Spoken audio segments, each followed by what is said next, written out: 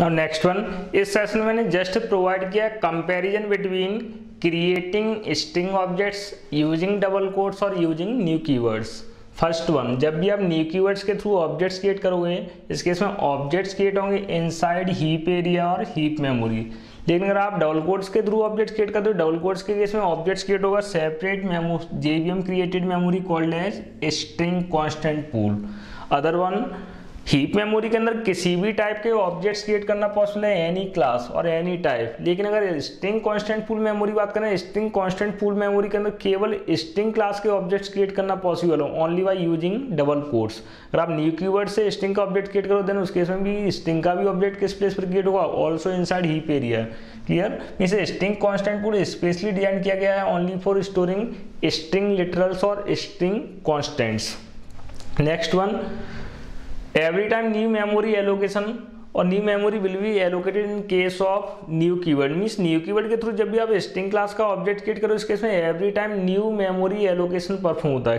Clear means इस case में कभी भी एग्जिस्टिंग ऑब्जेक्ट सर्च न करके न्यू ऑब्जेक्ट क्रिएट होगा इस केस में सपोज़ दैट आपने सेम स्टेट के थ्रू या सेम वैल्यूज़ के लिए आपने हंड्रेड ऑब्जेक्ट्स क्रिएट किए देन मेमोरी एलोकेशन कितनी बार परफॉर्म होगा? हंड्रेड टाइम्स इसलिए अगर मेमोरी के पॉइंट ऑफ़ व्यू से बात करें तो इस केस में मेमोरी कैसा रिडंडेंट मीन्स इस केस में रिडंडेंसी इंक्रीज होने के चांसेस हैं just because of creating multiple objects with same state clear plus heap memory के अंदर ऑब्जेक्ट्स कैसे हो सकते हैं? मे बी आइडेंटिकल और मे बी डुप्लीकेट्स और मे बी यूनिक मीन्स इस केस में आइडेंटिकल और डुप्लीकेट्स ऑब्जेक्ट्स क्रिएट करना पॉसिबल है। लेकिन अगर मैं बात करूँ in case of double quotes और in case of string constant pool. String constant pool के अंदर कभी भी जी हम डायरेक्टली न्यू ऑब्जेक्ट क्रिएट न करके न्यू मेमोरी एलोकेशन परफॉर्म न करागे।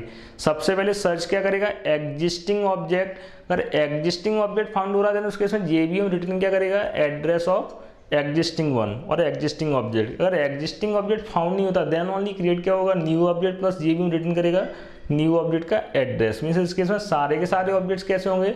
All are unique object means same state के थ्रू कभी भी मल्टीपल ऑब्जेक्ट्स पॉसिबल नहीं है clear means this mechanism will provides high performance compare to heap memory और compare to new keyword just because of means every time new memory allocation perform होगी every time सबसे पहले search क्या होता है existing अगर एग्जिस्टिंग फंड टाइप से इस वजह से मेमोरी को इफिशियंट वे में एक्सेस करना इफिशियंट वे में यूज़ करना possible is the syntax in case of new keyword syntax in case of double quotes clear next session में डिस्कस करूँगा जस्ट स्ट्रिंग कॉन्केटिनेशन ऑपरेशंस